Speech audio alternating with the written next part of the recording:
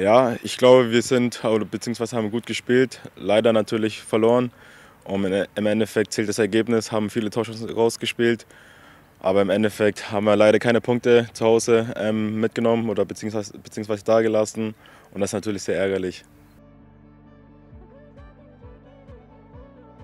Ja, ich glaube, ähm, also erstmal habe ich mich natürlich sehr gefreut, das erste Heimspiel von Anfang an zu spielen habe mein Bestes gegeben. Ähm, ich glaube, erste Halbzeit war von mir persönlich ganz gut. Hatte viele Aktionen und leider hat dann immer die, letzte, die letzten Zentimeter gefehlt zum Torerfolg. Und ja, das, das versuchen wir dann für die nächsten Spiele mitzunehmen und dann sind wir auf einem sehr guten Weg.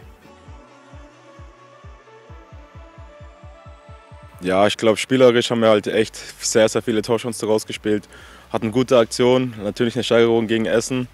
Aber ja, punktetechnisch leider ein Downgrade gewesen. Ja, Rückschläge gehören dazu. Also wir müssen da nur aufstehen und ich glaube, die Mannschaft ist charakterlich zu stark, nächstes Spiel zurückzuschlagen und da wollen wir es jedem zeigen, der jetzt vielleicht mal ein bisschen Negatives gesagt hat.